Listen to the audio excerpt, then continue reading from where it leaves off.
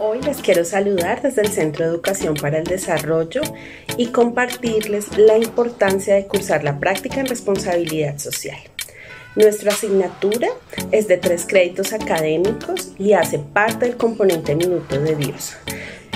En ella hay un ejercicio académico muy importante que nos permite formarnos como agentes líderes de transformación social.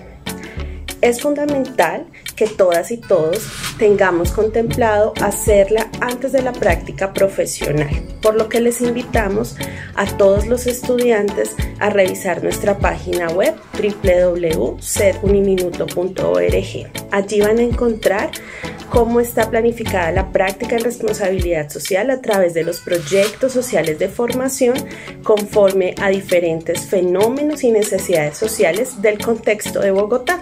Allí hay cinco sublíneas de trabajo, ¿sí?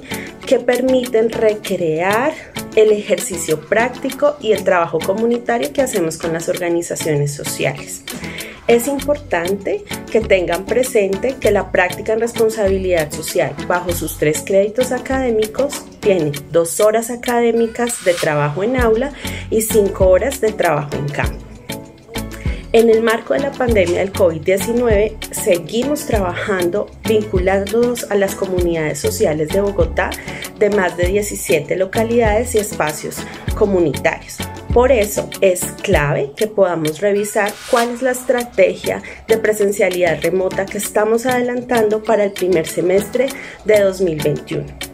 Estaremos dispuestos a atender todas sus dudas e inquietudes desde la coordinación de la práctica en responsabilidad social y les motivamos muy especialmente a hacer este ejercicio de práctica como un elemento de valor social que nos permite ejercer un liderazgo hacia la transformación de los problemas sociales hoy tan vigentes en nuestros contextos.